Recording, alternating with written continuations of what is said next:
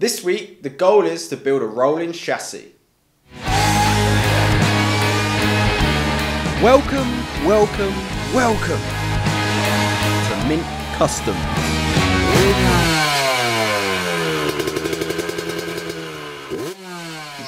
All the parts are starting to arrive, so I decided to start throwing it all together to see what would fit and what wouldn't fit. I had the yokes machine, so the Öhlins forks would fit in the yokes.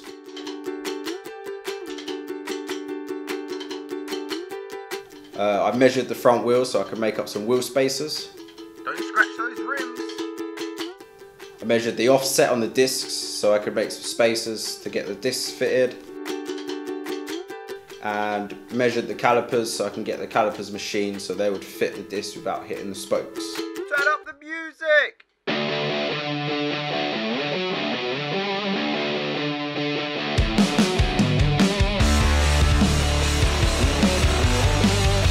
Wow, looking good. Spent two or three days measuring everything, making wheel spacers, fitting wheel spindles, getting the wheels perfect, getting the discs perfect.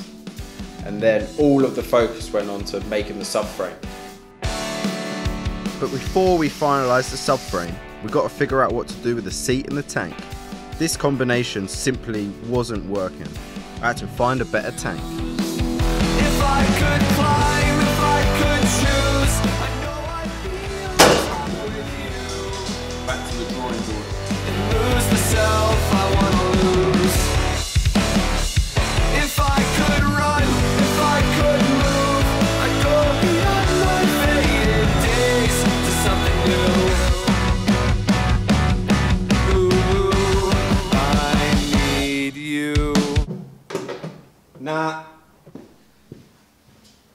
Nah.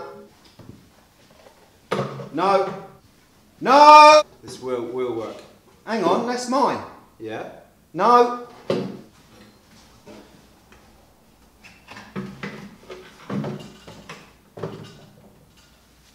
Perfect. Now the seat and tank is sorted, it's time to make the subframe. And the biggest challenge with the subframe was using this Moto 3 seat. The seat was tiny. So I had to make the subframe fit into the seat, but also fit around the Öhlins shock I'm making for the bike. If I could run, if I could move, I'd go beyond my faded days to something new. Better make sure the uh, seat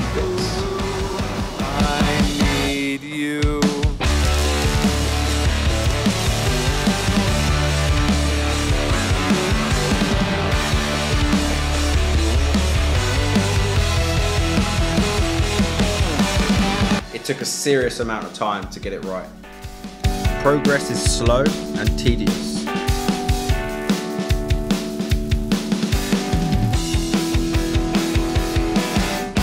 How's the seat going to fit into the subframe? Oh yeah, I'm gonna have to mark my entry point and then cut a nice slot, which I know will weaken weaken the Kevlar a little bit, but got no choice. We've got to run a subframe. I bought two Öhlins TTX rear shocks and made one good one out of the two. I had to alter the length and the stroke and make some new spacers for the mounting points. It should fit perfectly. Let's crack on.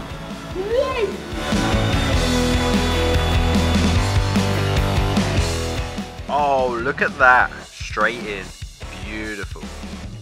The spring and damping settings may need changing slightly depending on the overall weight of the bike and how it feels the first time I ride it.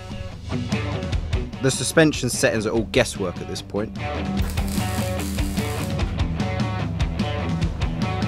Once I knew the shock fitted, I stripped the whole bike and overwelded the frame and grinded off all the brackets and clamps. None of them are going to be needed.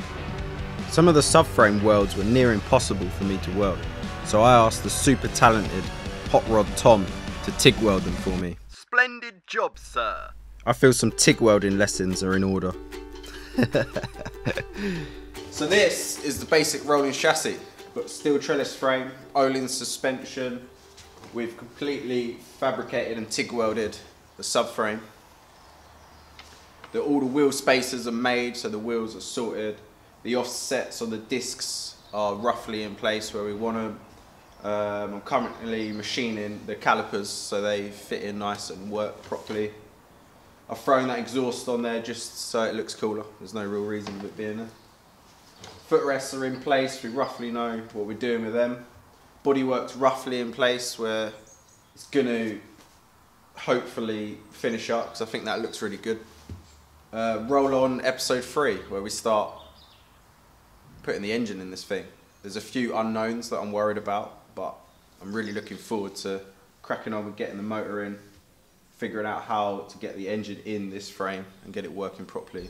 It's going to be really interesting. It's all coming together nicely. If I could Oh, climb, fire. if I Oh, that. That's legit. I'd be on top with you. There's lots of small details that still need to be finished. But that blue and red is really starting to get on my nerves. I might just have to spray paint them black until I get it painted properly. The sun is out for the first time in about six months. Top shit if we had that in some Perfect. perfect fit, yeah. The days are flying by, and I'm really starting to feel the pressure on getting this bike finished. And we still have the hardest job left to do fitting the engine. Whoa, it's so bright.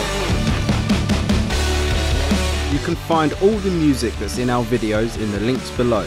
If you haven't already, please subscribe to our YouTube channel. And thanks for watching. See you in the next episode.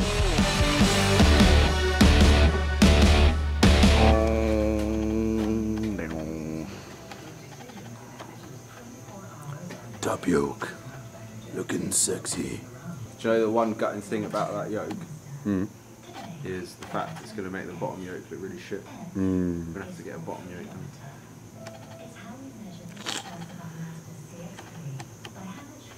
Oh man. Do think this tank will work, Dad?